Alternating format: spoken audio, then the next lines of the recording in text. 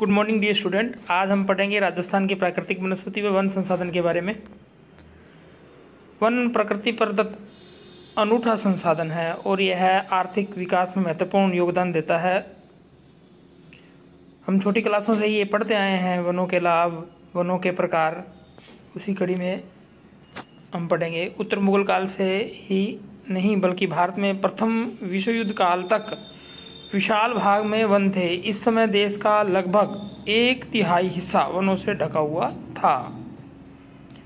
क्योंकि लकड़ी हेतु जितनी मात्रा में वनस्पति की आवश्यकता नहीं थी, परंतु सने सने आबादी बढ़ती गई व विकराल रूप धारण करती गई। फल, लकड़ी की मांग बढ़ती गई व वनस्पति का अत्यधिक दोहन होने लगा।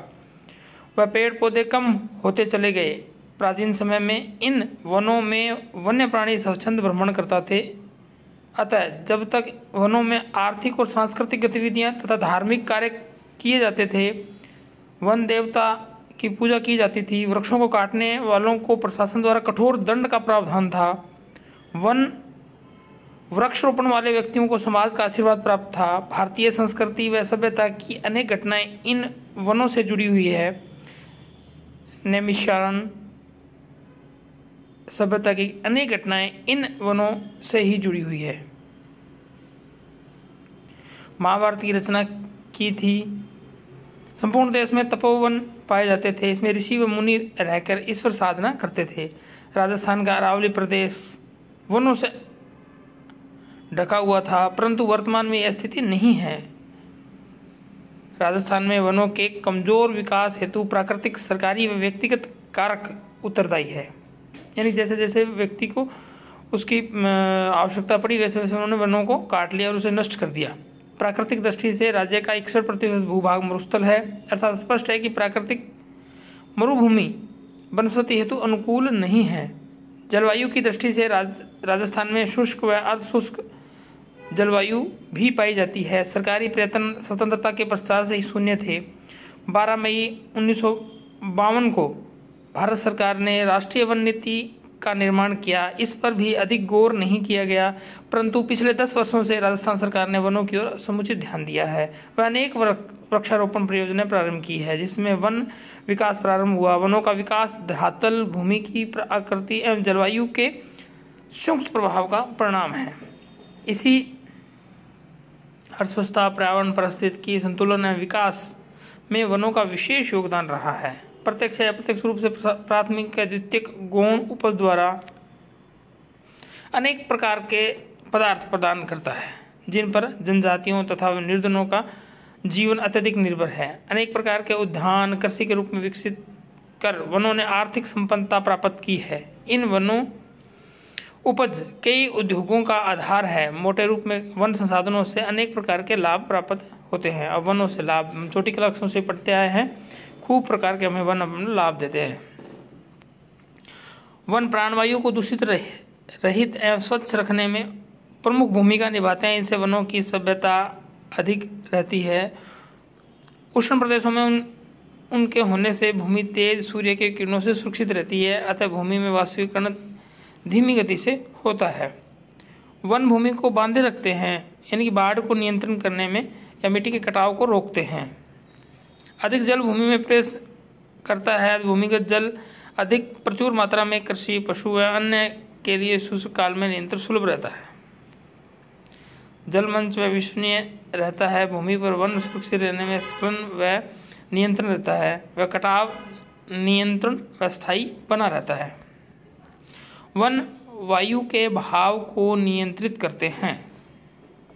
अपने क्या, जैसा पूर्व में मैंने आपको बताया, एक परसेंट भूभाग क्या है? मरुस्थलीय है। और मरुस्थलीय प्रसार को रोकने के लिए वन आवश्यक है। मरुभूमि सीमा पर वनों की पट्टियाँ लगाने से उसका प्रसार रुक जाता है। घने वनों में छोटे छोटे अनगणित कीट, पतंगे, रेंगने वाले जंतु, पशुओं का, जड़ी बूटियों का अनेक प्रकार के जो जंगली पशु, जानवर, पक्षी, इनका श्रेय है। देश में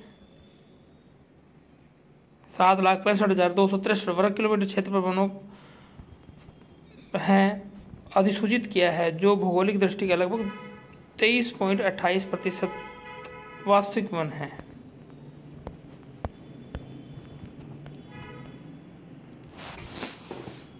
अब अलग अलग स्थान पर अलग अलग वनों के बारे में बताया गया है। ग्यारह प्रतिशत वन खुले वन हैं, आठ प्रतिशत स्वच्छ वनस्पति क्षेत्र है, ज़ीरो पॉइंट पाँच प्रतिशत पर ये वन है। ये आपको सबका बारी बारी से अध्ययन करना है। अब एक दूसरे प्रकार का वर्गीकरण दिया है। आरक्षित, सुरक्षित और वर्गीकृत वन। आरक्षित ऐसे वन जिस पे लकड़ी काटना यानी अनुमति के बाद में लकड़ी काट, काटी जा सकती है। सुरक्षित ऐसे वन जहाँ पर लकड़ी काटने की अनुमति ही नहीं है। वर्गीकृत वन ऐसे वन जहाँ पर लकड़ी काटना, पशु चराना खुले में मिलता है। इस प्रकार लगभग सत्रह पॉइंट अट्ठानवे प्रतिशत वन आरक्षित हैं। यहाँ पशुओं को घास चरने व लोगों को सूखे पेड़ काटने की आज्ञा दी जाती है। लगभग आधे वन क्षेत्र सुरक्षित श्रेणी में आते हैं। यहाँ जैविक एवं बहुत ज़्यादा पाया जाता है।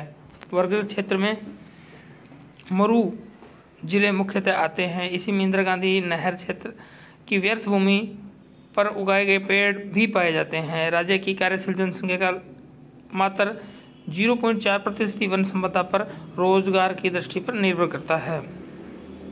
राजस्थान राज्य वन अभ्यारण्यों में सबसे अधिक घनी है।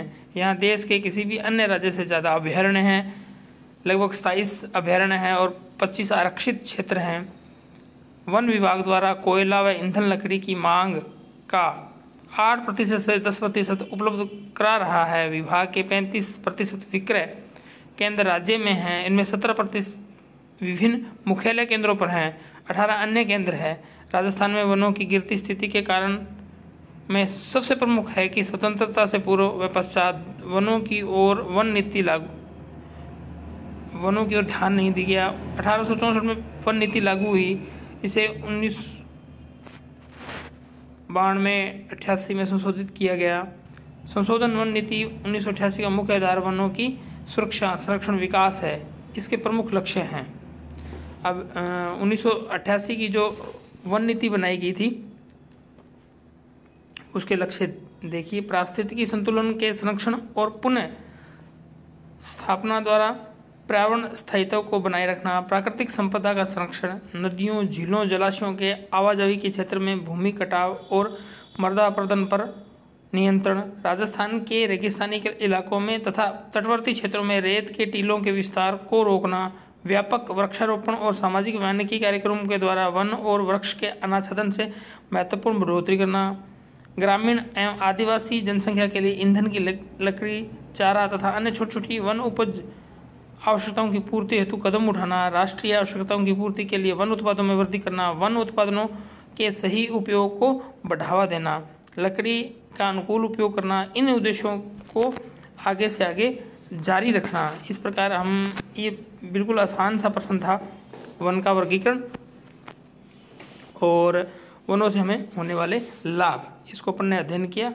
आपको अच्छी तरह से समझ में आया होगा। अगले वीडियो में अपने पढ़ेंगे वनों के प्रकार। राजस्थान में कई प्रकार के वन पाए जाते हैं। उनके प्रकारों के बारे में अपने अध्ययन करेंगे। धन्यवाद।